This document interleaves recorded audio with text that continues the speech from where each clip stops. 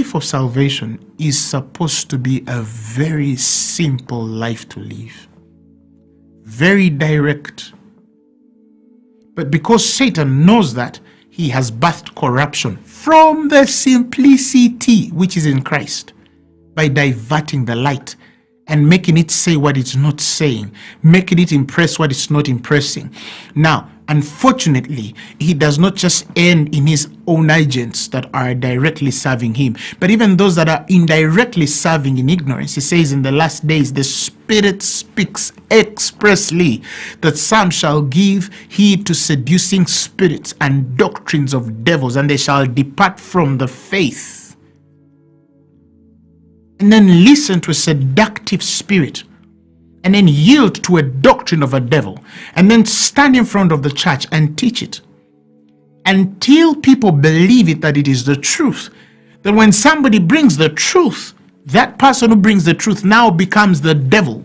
He becomes the cult. He becomes the false teacher and they become the right teacher according to the to the hearts of men because even the people that are being taught are taught into darkness shadows are cast them.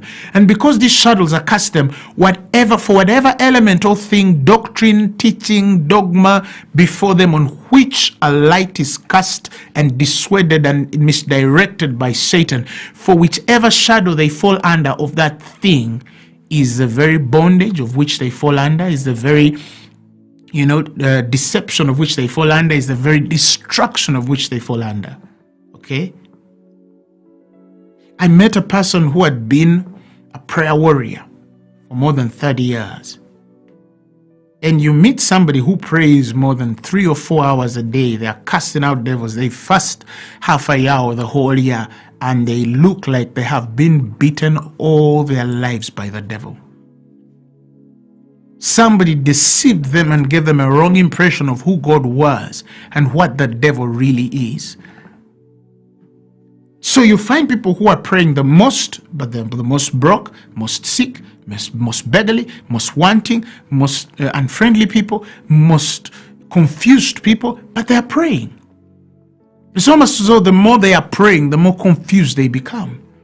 It's almost as though the more they seek, the more confused they become. Why? Because they are seeking in shadows. They are praying in shadows.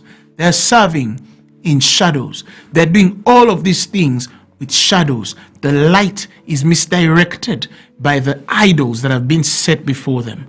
And these idols come in all shape.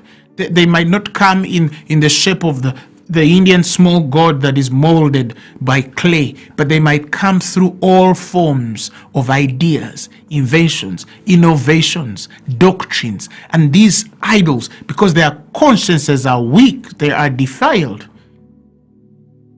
That is why we don't see people with results in the faith.